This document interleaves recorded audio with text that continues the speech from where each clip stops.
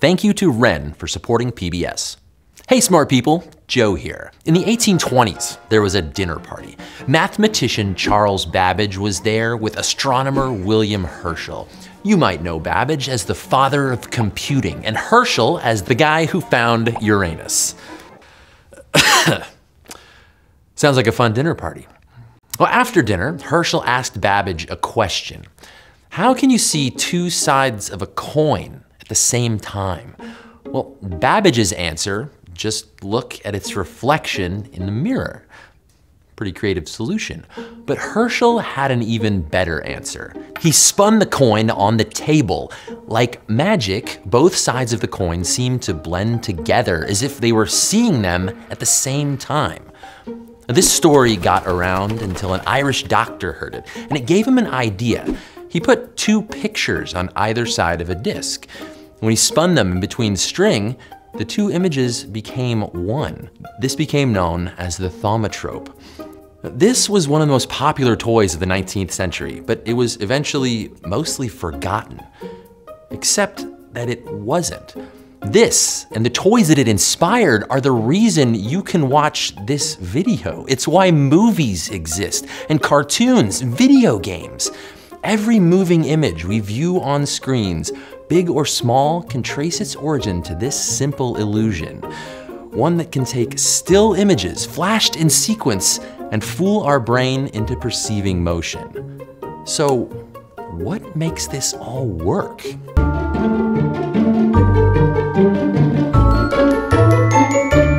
Spinning discs are one of the simplest ways to create illusions that blend images into one. And in the 19th century, they inspired a whole range of so-called philosophical toys, including this one, a spinning disc with several slits cut around it. Now, when viewed in a mirror, a series of still images on one side appear as one moving image. The illusion of apparent motion. These inspired a series of Victorian cinematic toys that were commercialized throughout the 19th century, selling by the thousands and captivating people around the world. These cinematic toys became more and more complex, eventually giving birth to the era of the moving picture, despite the fact that no one quite knew how they worked. Ultimately, those toys directly led to this invention, the film projector. To create the illusion of movement, a sequence of still images is fed between a light source and a set of lenses, projecting a series of pictures on a screen.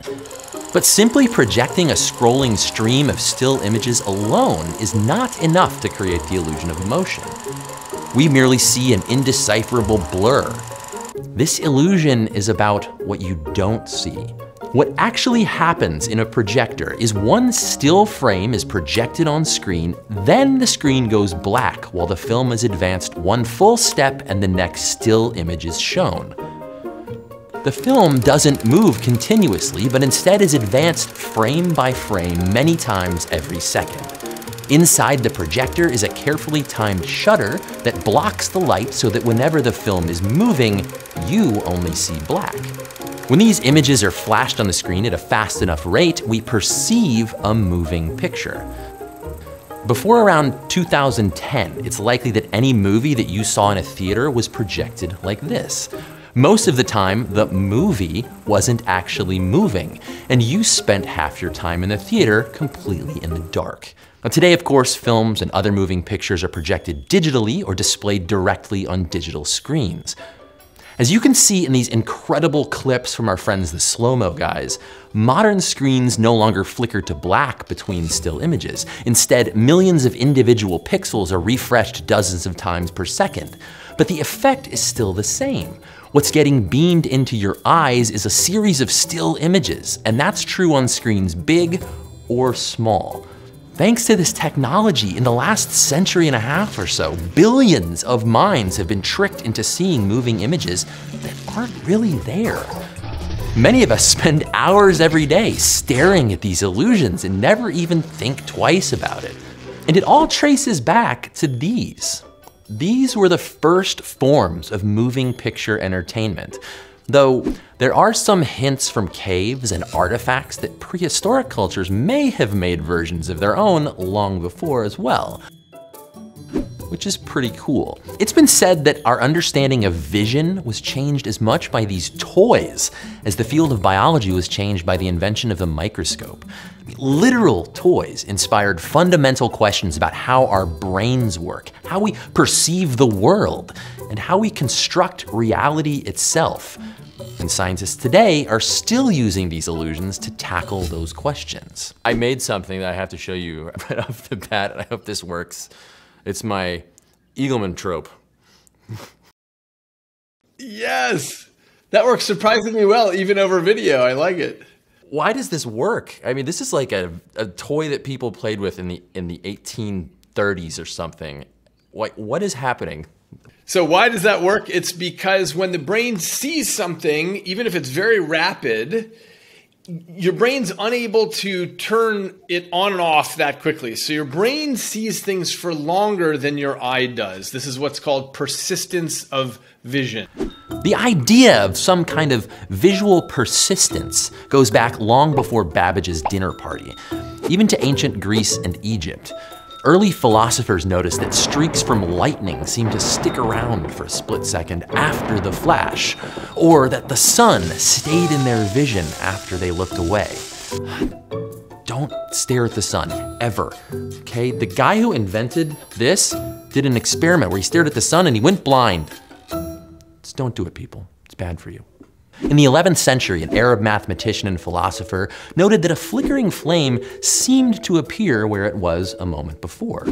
Da Vinci and Newton even devoted time to these mysteries. All of those early explanations centered on the idea that the light that enters our peepers temporarily burns a scene into our eyes. Then it's basically wiped clean, our eyes refresh, and then the next scene is burned in, and so on. In 1765, an Irish mathematician did this experiment with glowing embers. He calculated the velocity you'd have to spin to see the streak of light make a complete circle, and estimated the supposed refresh rate of the eye to be 130 milliseconds. You can try this experiment for yourself. If you rapidly move a point of light, it appears to leave trails behind. These illusions are not simply artifacts of my camera or the shutter speed. You can see them if you try this in person. This theory that the eye acts like a camera with some refresh rate, capturing slices of the world in single frames, stuck around for a long time, but it's wrong. That's right. It has to do with what's going on in the brain. So there are many things that happen in the retina, and that's just the first stage. And then you go back into the brain to an area of the visual thalamus, and then the visual cortex, and then all these areas of the visual cortex. Um, all of these things are interplaying. The effects in these toys and movies and screens today create an illusion neuroscientists call apparent motion. When you see a series of still images appear to move, it's your brain that's been fooled, not your eye. And how it really works is pretty freaky. Look at this arrangement of dots. And here's a slightly different arrangement. And another. These dots are just dots, right? But played rapidly in succession, at some point, these dots become something else. And depending on just how those dots are arranged relative to each other as they move, our brains can write very different stories about what we're seeing, even invent different characters. Now look at these two dots. Does it look like one is chasing the other? Or perhaps they've switched? Well, none of those are true. One dot is simply moving erratically around the other, but when you add a moving background, suddenly you perceive something else. That may feel like a trick, but there's no reason to think dots chase each other. They're just dots. The position of one of the dots never even changes. You made it do that. It's a story invented by your brain. How about this? Did it move? Or do they just blink on and off? So why are our brains inventing stories that don't exist? Well, these little white lies our brains tell us are an important part of understanding the visual information in our world. If I see a bird flying and it goes behind the tree, and then a moment later I see the bird emerge on the other side of the trunk, and for my motion detectors, that's perfectly fine. I say, "Oh, great, there was there was motion there, smooth motion." The bird didn't disappear. Birds just don't do that in the real world. Exactly, exactly. And this and this is this notion of object permanence. Your brain is is wanting to say, I, I want to still hang on to that bird wherever it went. I played a lot of Mario Brothers growing up, you know, like on the old Nintendo. And actually when you look at what's happening frame by frame, like you've got a little plumber man standing there, and then all of a sudden you have like a plumber guy with his fist up a few pixels away. And there's nothing in between that but when you play the game, you have this sensation that this character smoothly jumped up in the air. Uh, that, that's exactly right. And that's what apparent motion is about. Your brain does all kinds of computations and says, oh, wait, here's Mario, and there was a Mario over here. It must be the same Mario, and he has moved. Your brain makes an unconscious decision that images seen at different places and at different times represent the same object. This is called correspondence. The snake in the classic game isn't moving. It's simply a series of blocky shapes, but our brain's object permanence interprets the shape as the same snake between frames. And based on our understanding of how snakes usually move in the real world, we assemble those shapes into motion. Even in modern video games, while the picture's quality has definitely improved, the technology has increased the number of images played each second, what we see as continuous motion is just a series of still images. What's really interesting is that the brain can only do this in retrospect. So, in other words, it collects up the data from frame one, then from frame two, and then it retrospectively says, ah, it must have moved smoothly between those things. And part of the way we know this is from a visual illusion called the color phi effect, which is if I show, let's say, a red dot and then I show a blue dot, you will think that it moved from one position to the other, but you will also have the impression that it changed color halfway between. And that's only possible after the second dot has appeared. Even though it feels like, oh, I'm seeing this thing and it changes color to blue, you can only know the position and the color after it's over. So your brain is going back and writing a story that never happened in between those two things. That's exactly right. And actually, I coined a term for this uh, some years ago called postdiction. It's the opposite of prediction, which is to say, you know, your brain collects up all the information about a scene before it retrospectively says what it thinks it saw. You know, you're living about probably about half a second in the past. So when you think the moment now occurs, it's already happened a long time ago your brain's collecting up all this information, including what's coming through your eyes and your ears and your fingertips and your toes and everything, which comes in at different speeds. Your brain has to collect all that up, stitch it together, and then say, okay, here's what I think happened. I'm really starting to question reality more and more as we talk here. Here's another example of this. There are cells in your eyes, even in the visual processing centers of your brain, that respond fast enough to detect rapidly flickering light. But what's really interesting is there's a threshold where your brain flips. It decides to ignore that flickering, and you suddenly see a constant light source. When the rate of flicker is higher than 35 flashes per second or so, your brain says, I'll just smooth this out to look like real life, even though your eyes and parts of your brain are sensing flickering light. Movie cameras record 24 images per second. But if you played that back at 24 flickers per second, it would look like a strobe light. Film projector shutters flicker two or three times for each still image. Digital displays refresh two or three times before the image changes. It's over that threshold, so your brain ignores the flicker. When you think about this, that your brain is taking in all of this information from your senses, it's comparing it with your past experience about how things in the universe should behave, then your brain goes back and writes the story of what it thinks you saw. It brings up a lot of interesting questions. Like, how did our brains end up this way? I mean, our species has only been staring at illusions like these for a couple of centuries, but our brains are way older than that.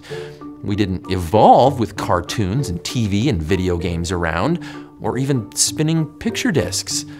But being able to sense motion, even the illusion of motion, has been a big part of our species' survival. You know, maybe 99 times out of 100, that wasn't a tiger in the grass. It was just an illusion of motion.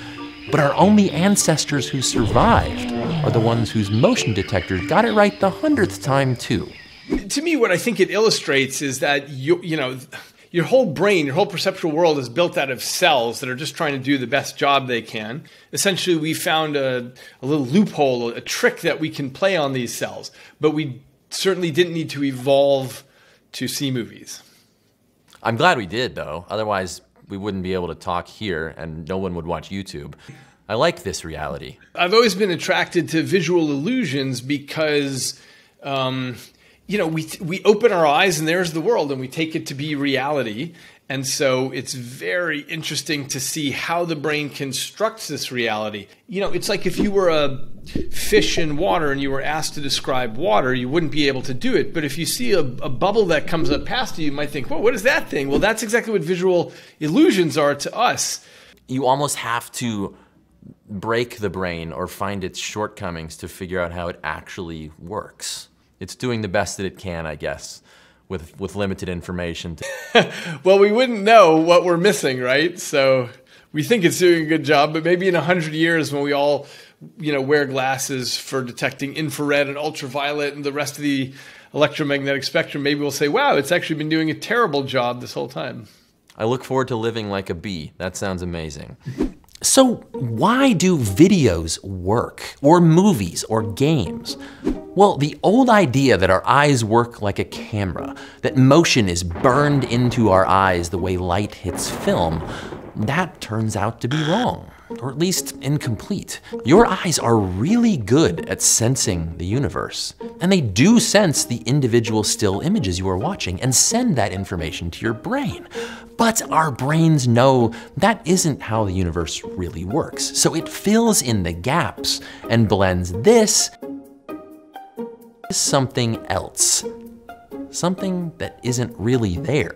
Imagine if you lived in a black, silent room, cut off from the outside world. The only descriptions of the outside world that you get are periodic notes passed under the door. Your image of reality will be a story you write based on that limited information. That's how it is for your brain. In something as normal as watching TV or a movie, it isn't the actors that are creating the story, it's your brain. So what does this all mean? Well, it means that this video is an illusion, but it's one that you can trust. Stay curious. Thank you to Wren for supporting PBS.